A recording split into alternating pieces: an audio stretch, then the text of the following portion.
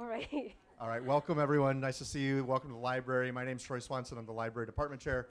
Um, we are very honored to welcome Dr. Amani Wazwaz, who's a faculty member in literature and communications.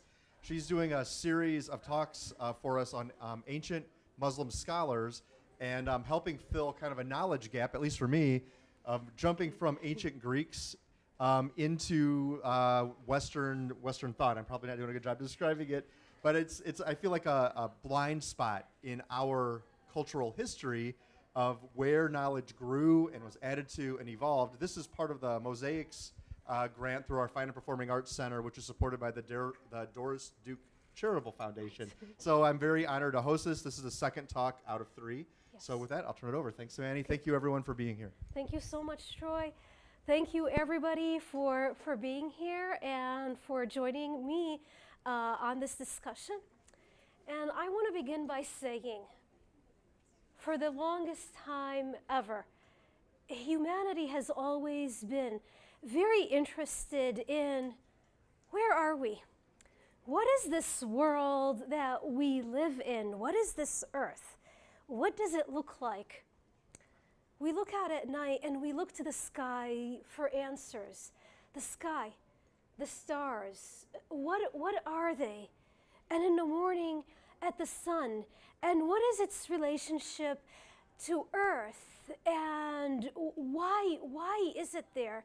And at night, the moon, why is it present? And we look to understand the moon, the sky, the stars, so that we could understand our world and ourselves as well too. This continues on till today. I mention astronomy and the moon and the stars to my students, and they're very fascinated, and they tell me how much they love astronomy and they love learning about the earth and science. And the same thing occurred, the same thing was felt by the ancients as well too. And the ancient Greeks, Indians, and the Persians contributed so much to our understanding of astronomy and the world as well too. In the history of humanity, cultures have always exchanged ideas with one another. There is no shame in that. People exchange ideas, people learn from one another. People take what other cultures have produced and they add on to it their very own ideas. So, for example, the ancient Greeks, eh, they took a lot from the Babylonians. They learned medicine from the ancient Egyptians. They learned astronomy from the Babylonians.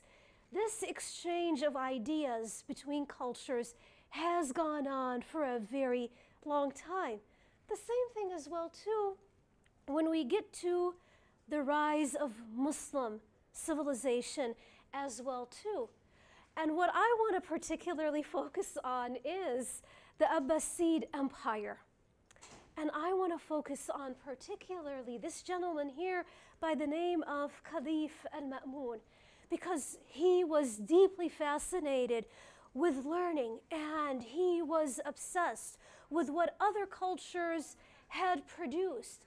And what he did was he called out for his scholars to translate as many of the ancient Greek and Indian and Persian texts as possible. And a lot of these translators were Christian, they were Jews, they were also Muslim. And some of these early translations from the Greek, they were turned into the Syriac language. Syriac is a Semitic language, and from the Syriac, it was translated into Arabic. So, what he did was he had this body of knowledge in the House of Wisdom. And the House of Wisdom is an academic institution, it's a vibrant library where people interact with one another, they share translations. And what they did was they picked up what the ancient Greeks, Persians, and Indians did, and they shared it with one another.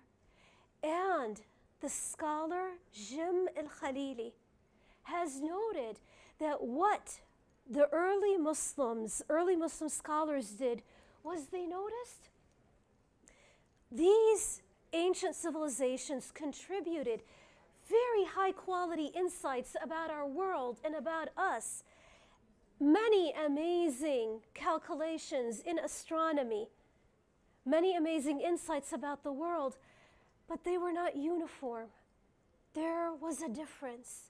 And Jim el Khalili argues the following What makes Muslim civilization give so much back to the world is the fact that it aimed for uniformity.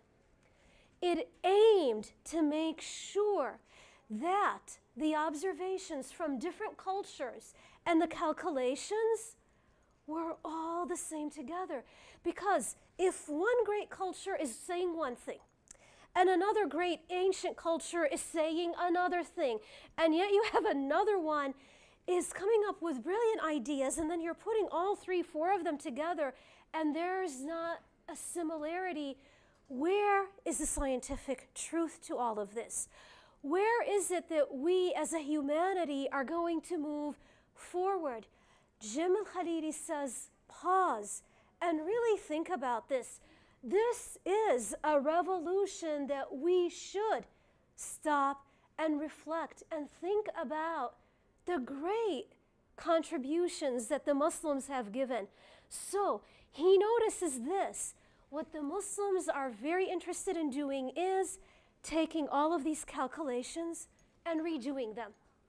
Taking a look at all of these insights and making more observations so that there would be some kind of unity. If we're looking at our world and the earth and the sky and the stars, and different people are saying different things, we are not moving forward as a human civilization. We have to agree that something is working similarly. So, this is what he has to say Muslim civilization gave the rise, the birth of the scientific method. And this is coming from his book, The House of Wisdom, where he has studied the contributions of many uh, scientists during the rise of the golden age of Islam, and he's noticed this way of thinking is something that we should really pay attention to and something that we should really prize and understand. Case in point, okay, let's go now to the ancient Greeks. Ptolemy, one of the greatest and most brilliant ancient Greek thinkers, his book, the Almagest, Notice it bears the mark of Arabic translation with the al, al meaning the, the majestic, Almagest. Ptolemy, the great ancient Greek thinker, did this. He looked at his own civilization and he collected the scientific observations and calculations of his very own people, his very own culture. What I have here is uh, a statue of Hipparchus, who is also a great Greek thinker and a great Greek astronomer who gave the world back so many incredible insights. Ptolemy collected the insights of Hipparchus and other ancient Greeks in the book The Almagest. Again, one gentleman collecting the thoughts of people in one book alone. And what he has in the Almagest are the following. He describes the celestial motions, Jim al Khalili says.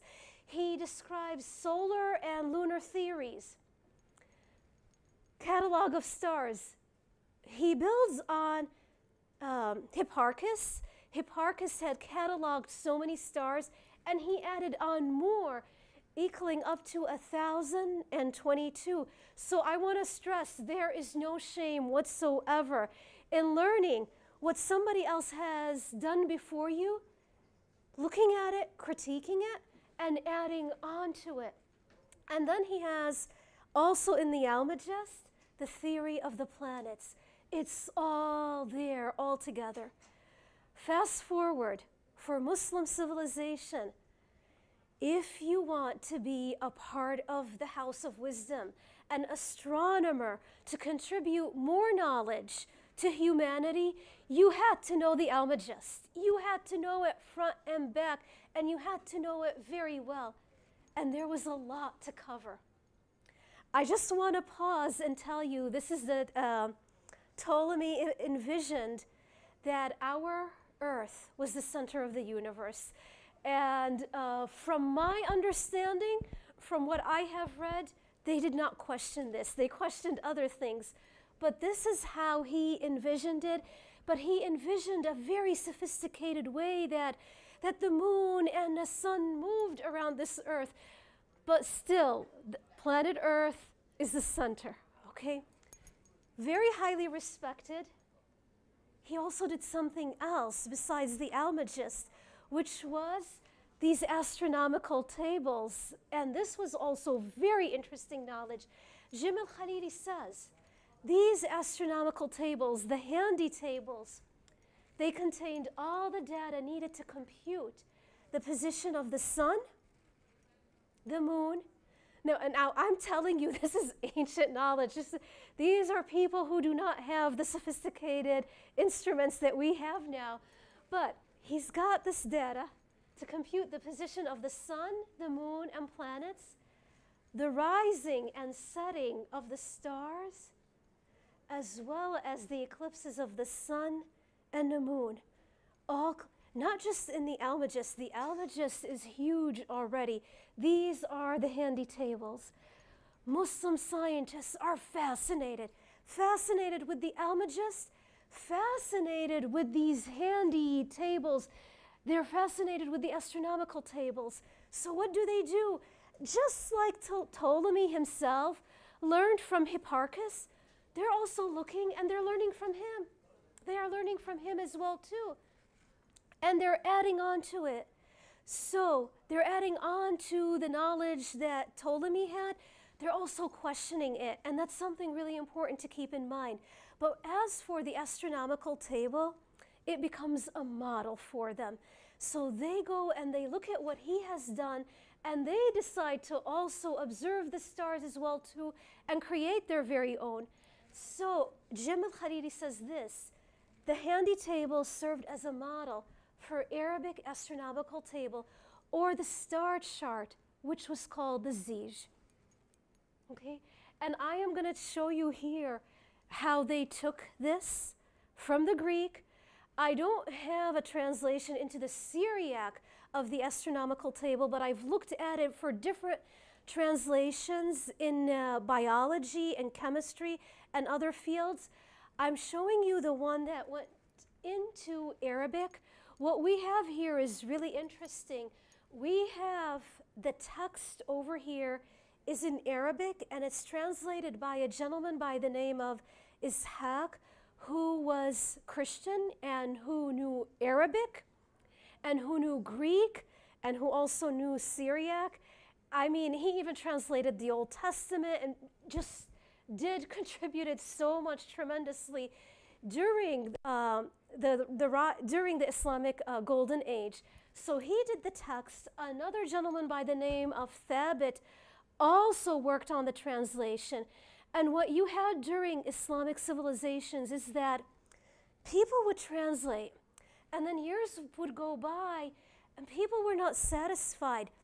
People would learn Greek and Syriac, and, and they'd learn the fundamentals of Arabic language so well, they'd go back to these language, to these translations, and read the Greek again, the Syriac and the Arabic, and fix it and add on to it because translation is not very simple. Take what the Greek said, add it to the Arabic. It's not like that. Translation is an art of and within itself. So this took a lot of time. So you have here a collaboration of different scholars. And what you have here for the star catalog is Al Hajjaj adding on to this a few decades later. And I have, I have more over here of the Arabic version. And I also found this. Um, this is a YouTube video of what they have at the library at Pennsylvania. And they're preserving this. This is uh, the Almagest translated from the Greek into Arabic in the 14th century in uh, 1382 And what you have, do you see the cover?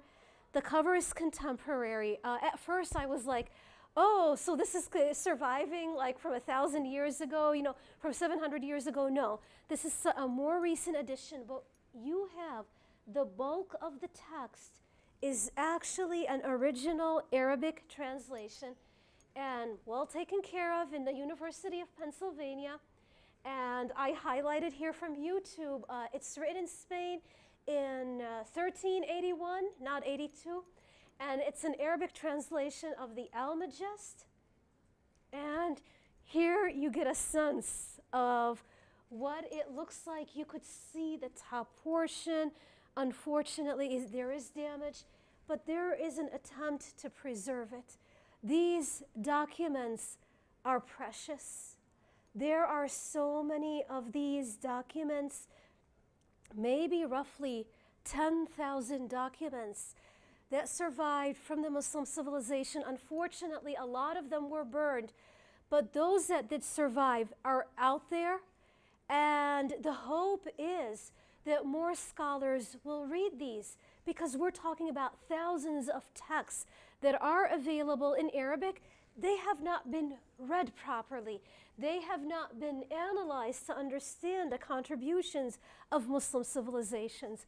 But this one is at the University of Pennsylvania. If, you know, for those who are interested in this kind of scholarship. Now, I want to go back. Caliph al-Ma'mun, as I mentioned, was this phenomenal uh, leader, Muslim leader, who put in a lot of funding into encouraging scholarship in the Muslim world. And what he did was he founded an observatory in a district called Ash-Shammasiyya, which is in modern day Iraq.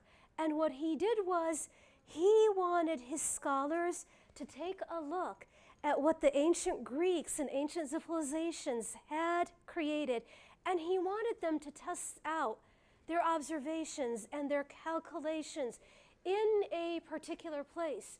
So, Khalif al-Ma'mun did two amazing things. Number one, the House of Wisdom, the academic, vibrant library full of scholarship, where a lot of these debates and translations were going on. And then he has, in the Shammasiyya district of modern day Iraq, he has an observatory to test out ancient knowledge. Jim al Khalili says this while the notion of an observatory was certainly not new. Ancient civilizations had it. Jim al Khalili stresses what you now have is royalty funding this, which means that all these, pe- these people are taking their wealth and wealthy patrons and they're giving their money to science and to the advancement of science. So he says, never before had one been created as genuine scientific institution. And this is really important. So observatories were there, were present, but as a state funded institution, this is something new that we see in Islamic civilization. Jim al Khalili stresses that in these institutions, in the observatories, you had, the king had ordered for his scholars to take a look and examine that the, observa- uh, the observations that were created by the Greeks. Observe the moon, observe the sun. There was really intense observation back in the day with people keeping records of what they were seeing in the skies and keeping tables of the stars and their calculations. So it was a very exciting field to be in. And the king made sure, the caliph, I mean, he made sure that he would select his strongest scholars, the people who were most interested and very adept at the sciences and mathematics. So, what you have here is a gentleman by the name of Yahya ibn Abi Mansur, and he distinguished himself by his intelligence. He was an older gentleman. He worked in the observatory for two years, and unfortunately, he passed away in 830. but he took on a lead role. With his wisdom, with his knowledge, Caliph al Ma'mun relied on him tremendously. There was also, you need good people to do good things. There was also another gentleman by the name of Sanad ibn Ali al Yahudi.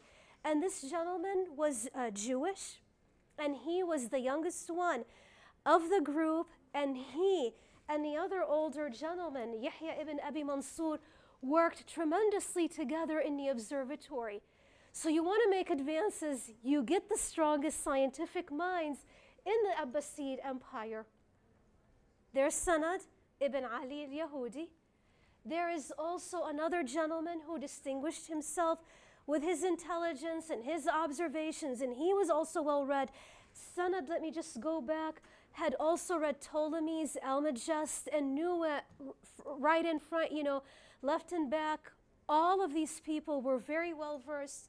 They knew the knowledge that the ancient Greeks had created. Another gentleman, um, Al Abbas al Jawhari, would hold conversations at his home about astronomers and astronomy with all of these different people. Another gentleman to distinguish himself is Al Khawarizmi. Does anybody here know Al Khawarizmi? What has he distinguished himself in? Anybody know? Okay. He tends to be more known than the other gentlemen. It's because of algebra. Okay, that's how he is known. He is known because of the books and ideas that he created on algebra and modifying Indian numerals, you know, and he is pretty much a math genius. So, of course, the caliph is going to call him in because to understand our world around us, you do need a mathematician. There's also another gentleman, okay, Al Farghani, and he also distinguished himself, but in a different way, and it was good to have him on board as well. He created what is called the Nilometer, okay? And I want to show you this. So in Egypt, you've got the Nile River, and you need it. You need it for prosperity. You need it so that life will go on. The problem is if the water levels go really high, there's a threat of flooding. If there is not enough water, then what you have is people might starve. People might starve. There is not enough water.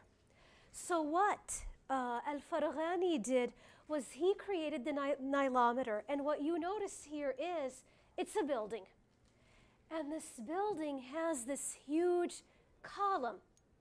And do you notice there are tunnels? Do you see those? There are tunnels. And what it does is the water goes in there. That column over there, it has markings on it. They're roughly one inch apart. And people are able to realize and keep, keep records.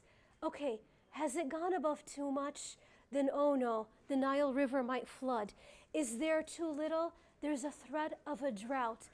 This building survives in artwork, but it's still around. This building is still in Egypt.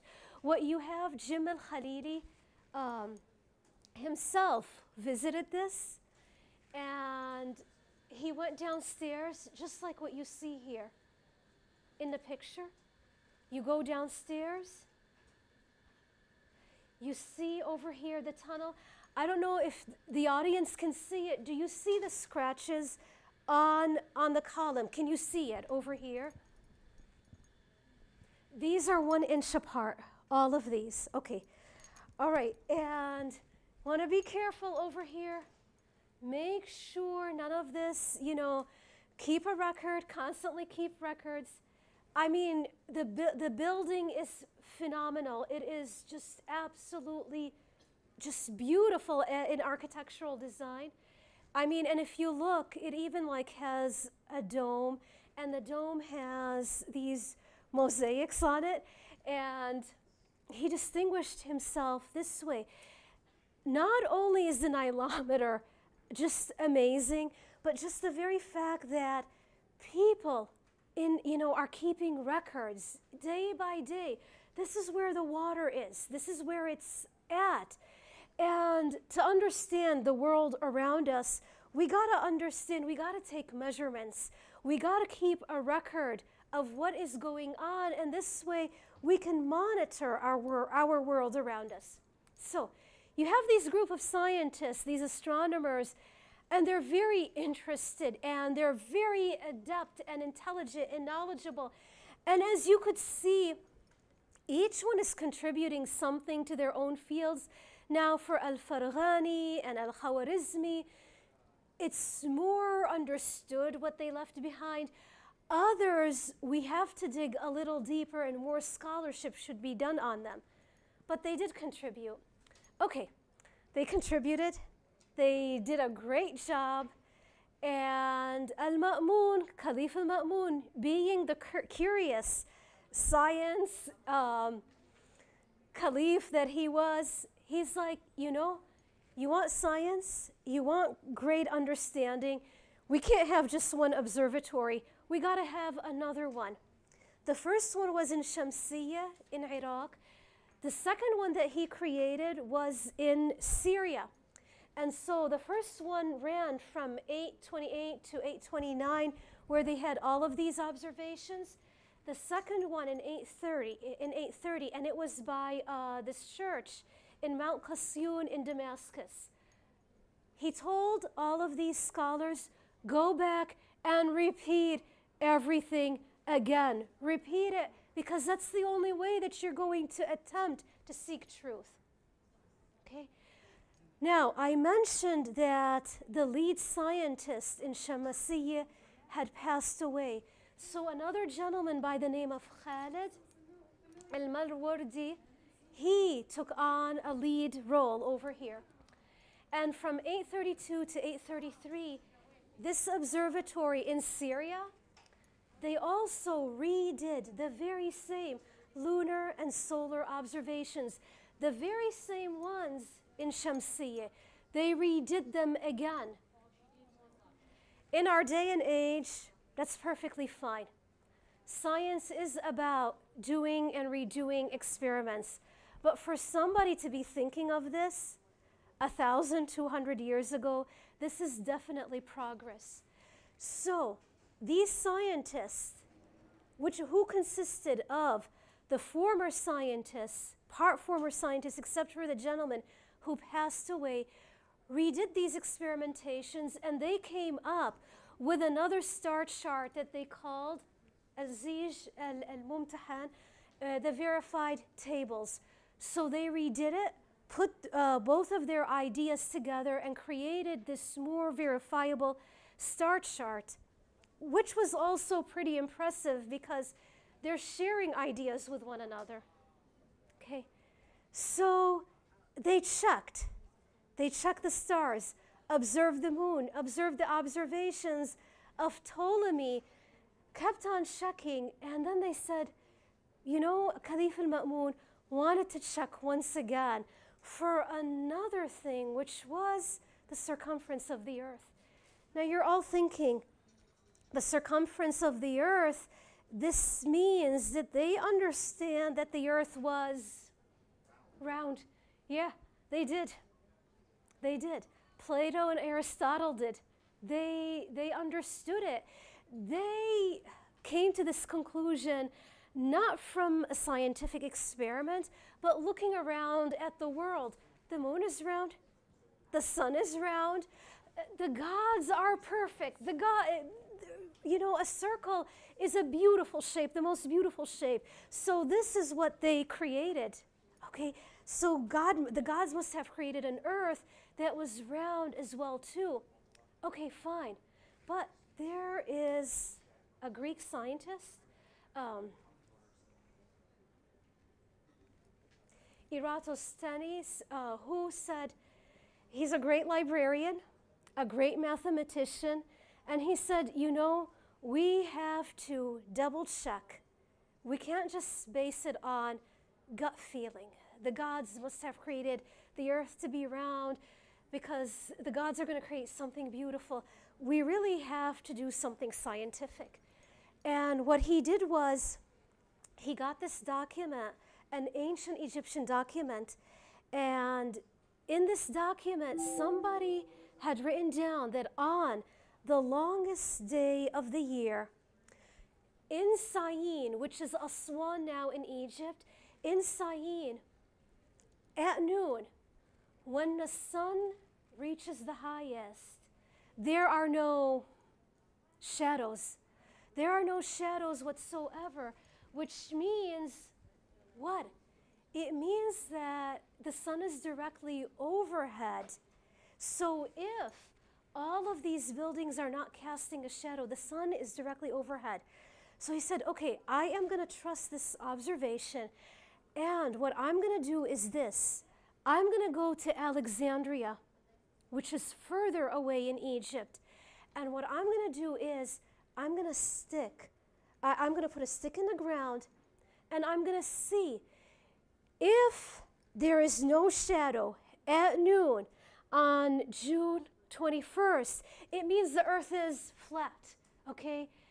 But no, what happened was he put this stick um, on the ground and he noticed it did cast a shadow in Alexandria. And that shadow was 7.2 degrees. He had another, he had a gentleman walk, literally walk from Syene to Alexandria and count the paces that he took from this very long walk from Syene to Alexandria. And what he did was this okay, so he measured, he measured the shadow over here, and the angle is 7.2 degrees. And he did these calculations, and he said this okay, here is Syene is over here. These are the buildings with no shadows cast on June 21st. Over here is Alexandria with the shadows being cast, and it's 7, 7.2 degrees here. He said, if you are to draw a line down over here, this is going to be 7.2 degrees. This is what, you know, if they were to meet over here at the center of the earth, using math, mathematics, he did the following. Okay, so the circumference of the earth, you know, a circle is 360 degrees. So 7.2 degrees over 360. The gentleman who walked uh, from Syene to Alexandria said, I took this many paces this many paces, he translated them into the Greek unit stadia, which is roughly about 800 kilometers. He did math, okay? He did, you know, his version of math, and he reached a very, very close estimate, which was incredibly impressive. He had nothing, okay? He did not have all of these instruments that we have now. Okay, Muslim scientists, again, very fascinated by this, and it's also, you know, covered in ancient uh, Greek uh, texts. Let's redo it. Let's see, are we also going to get a similar number as well, too? So they did, they created two experiments where Al-Ma'mun took all of these astronomers as well as all of these scientists and carpenters and metal workers. And he said, This is what we're going to do. We're going to be at one place and we're going to walk different directions. And we're going to stop until one angle has been formed. And we're going to redo the calculations. They came up with an almost similar numbers that the ancient Greeks did as well too. There was a small margin of error. So they're satisfied for a while. They're like, wait a second, the numbers are almost the same as the one obtained by the ancient Greeks. So maybe, maybe, since there is a similarity, there must be some kind of truth. Okay, but science is not meant to rest. Humans are not meant to arrive at a truth and it's always, it's done and over with. So what happened was the following. We have a great scientist by the name of El Biruni, who's like, but wait a second, when you walk, when you're taking paces and you're counting them, like the ancient Greeks did, like the Muslims in the 9th century did, really, how powerful of a result are you getting as you are walking? Is walking really accurate? It's not. So, what he did was, I'm not going to walk. I'm not doing any of this. I am going to use mathematics to measure the, circum- the circumference of the earth. And I am going to let you see the scholar Jim al Khalili describe what El Biruni did in his very own words.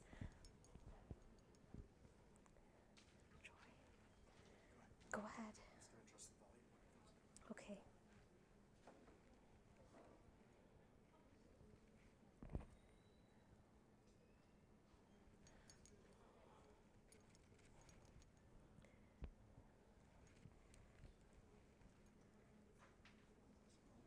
And ask me later. Okay. And can we go to 1730?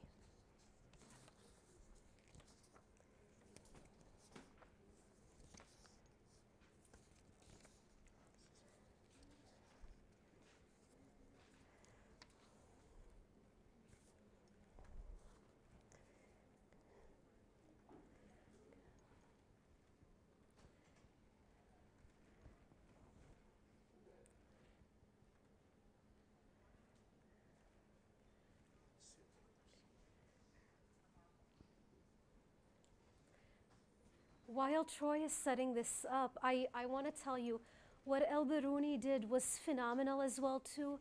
I love what uh, the ancient Greek Eratosthenes did with measuring the angle with the stick. I love what later on the Muslims did and what El Biruni had to do with mathematics.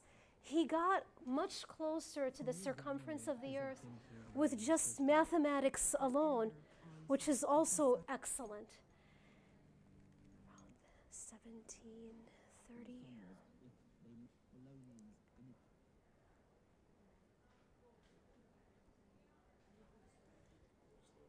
Yeah, What made it possible was a great leap of imagination. thank you. And the fact that by 900 AD, much of the world's knowledge had been translated into Arabic, so scholars could scrutinize and improve on it.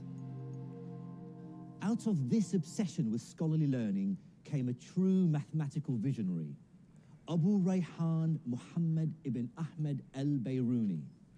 And like all Islamic scholars of the time, al Bayruni was obsessed with the science and mathematics of the ancient Greeks, Babylonians, and Indians. And because of the success of the translation movement, he had literally on his desk the great work on geometry by Euclid, Ptolemy's Almagest, the Indian text, the Sindhind, and the famous work on algebra by Al-Khwarizmi.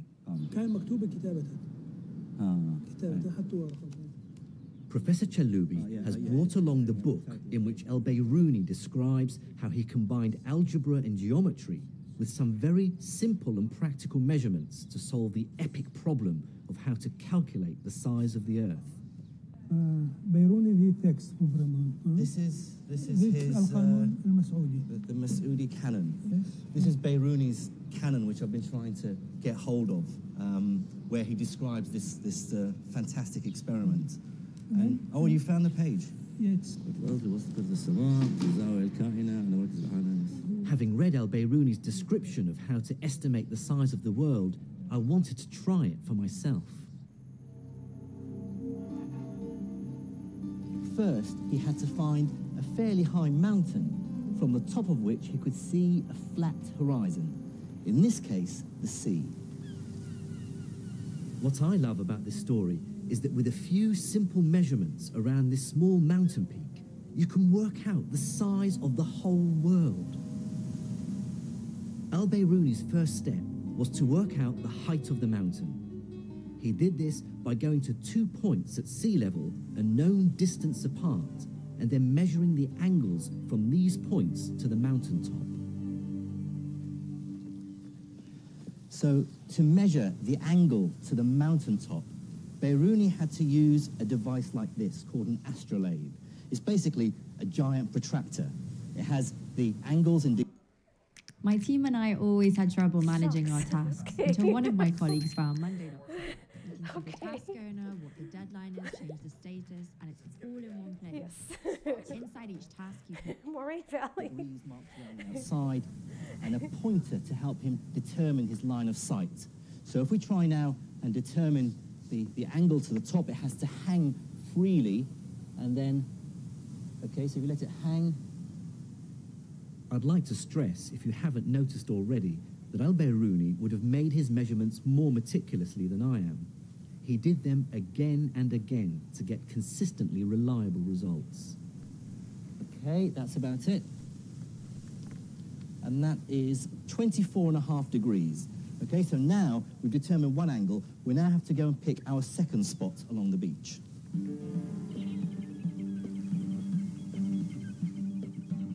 The distance from the first to the second point must be measured accurately. In this case, it's 100 meters, and the two points must be in a straight line with the mountain.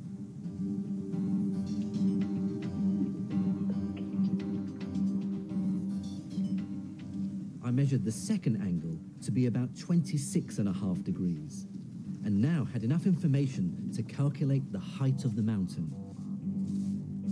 Using trigonometry and algebra, El Beiruni used a formula that relates the height of the mountain to what are known as the tangents of the angles he measured. Using my measurements, I get a figure for this mountain of about 530 meters. I now need only one more measurement to get the size of the Earth. And to get that, I have to climb to the top of the mountain. What Beiruni did next was measure the angle of the line of sight to the horizon as it dips below the horizontal. So we're going to try and reproduce that. So if you can lift it up so that it's hanging, and if I locate the horizon, okay, which is about half a degree, which is about the value that Beiruni got. Now, here's the really ingenious part. Beiruni had measured four quantities, three angles and a distance. He used two of the angles and the distance to work out the height of the mountain. Al Beiruni now had everything he needed. In essence, Al Beiruni imagined a huge right-angled triangle, which has as its three corners the mountaintop, the horizon, and the center of the earth. Trigonometry told him that the angle he had measured and the height of the mountain are related to the radius of the Earth, and algebra allowed him to calculate it. With this formula, Beiruni is able to arrive at a value for the circumference of the Earth that's within 200 miles of the exact value we know it to be today, about 25,000 miles. That's to within an accuracy of less than 1%, a remarkable achievement for someone thousand years ago. And that's it, Troy. Okay. So this is more accurate, more based on mathematics. The others were genius, were amazing. But there is a limit to counting the paces, walking, particularly walking in the intense heat of Iraq. This is far stronger because it's relying on math. And Jim Al Khalili stresses that we're seeing now more of a reliance on science and mathematics to help us understand the world. It's not just Khalif al Ma'mun. Throughout Islamic civilization, we have observatories. More and more rulers are building these observatories. So, this Turkish uh, professor by the name of Ayadin Sayili, if I'm not mistaken, he studied at Harvard and he studied Islamic science history at a grade and at so much depth. And what he said was this in looking at all of these observatories, what you have in Islamic civilizations is the rise of observatories that are very large. They're very grand in scale. So a lot of money was poured into creating these observatories. Well, in order to have them, you needed to have people. You needed to have librarians. You needed to have people who are directing them. You needed to have the astronomers, the mathematicians, the scientists in this field. You had a lot of collaboration, people working with one another to retest calculations and retest scientific values. What you also needed to have is amazing instruments. You saw a little bit in the video.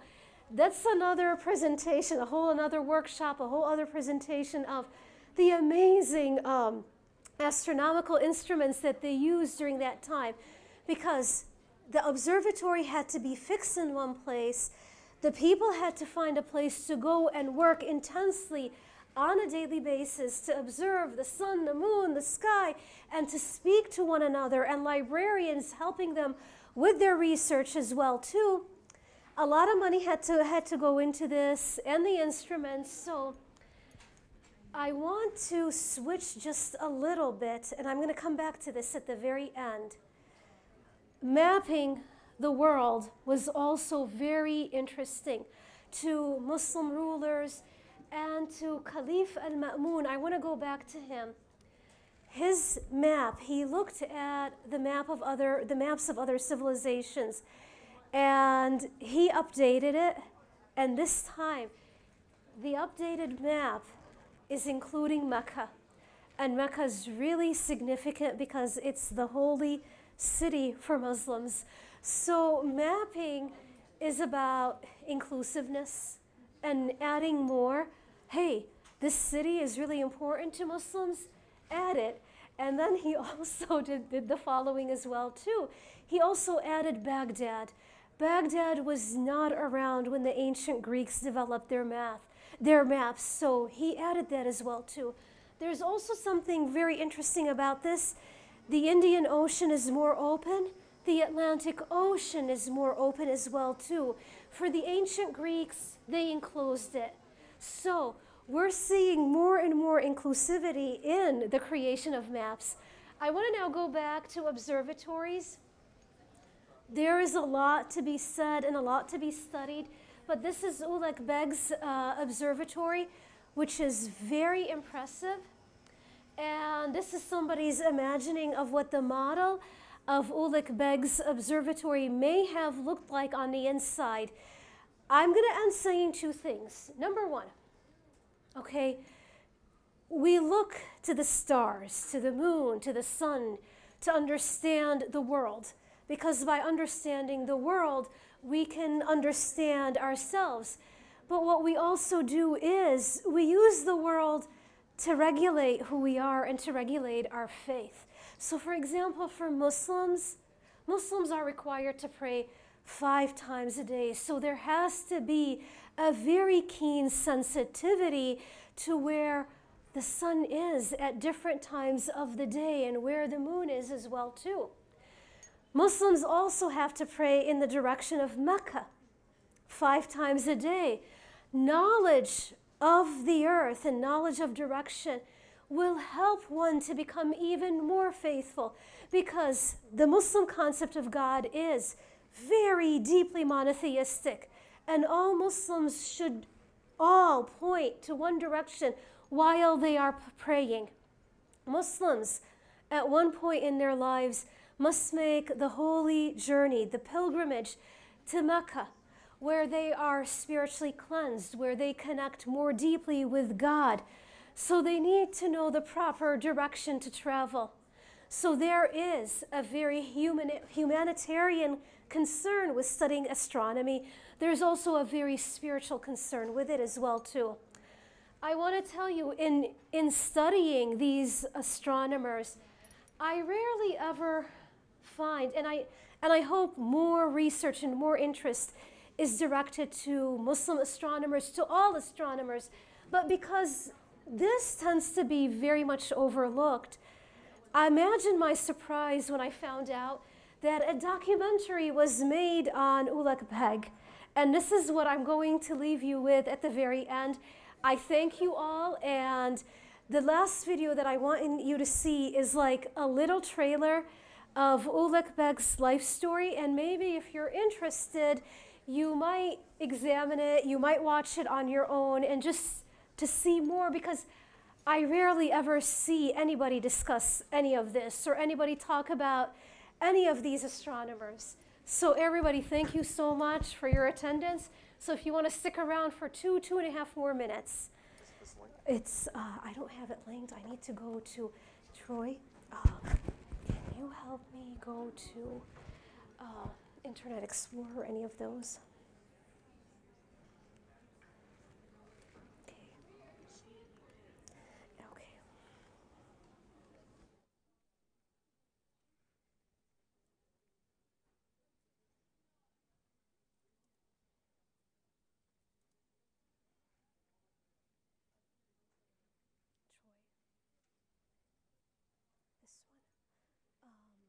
man who unlocked the universe, this one, right over here.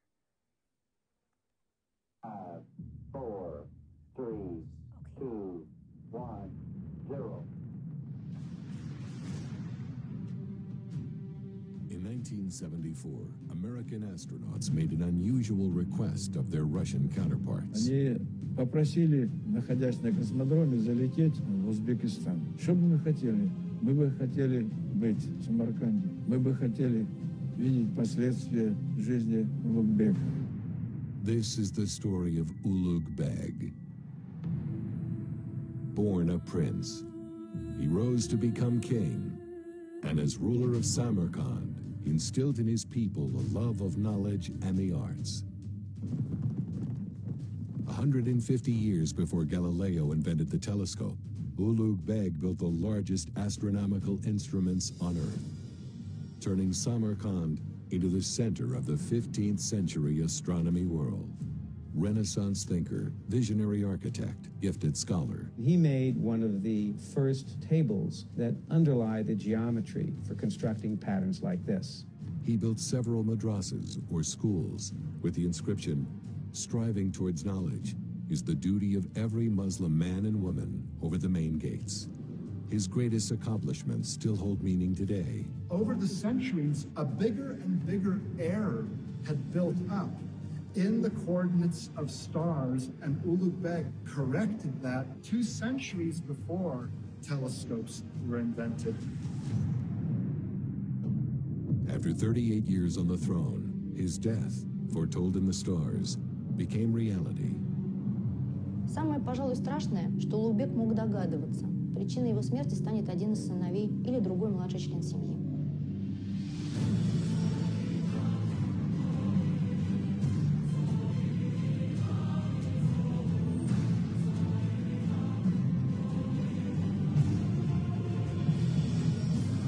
Discover the extraordinary life of one of the greatest minds the world has ever known.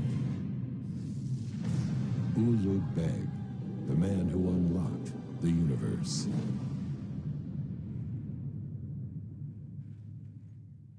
Okay. Any comments, any thoughts, any questions? Comments, thoughts, questions. Is anybody going to watch the documentary? It's about an hour, so it shouldn't be too bad. You might, Tommy, you might. Okay. Okay. Comments? Oh, that's awesome. That is. Yes, you did. Yeah, you did. You did. You read the book. You also have a thousand and one inventions and everything. So, which is uh, that is a great book as well too. Yes. Comments from my dear audience. Questions. Professors are going to class. I understand. Okay. Yes, Christina.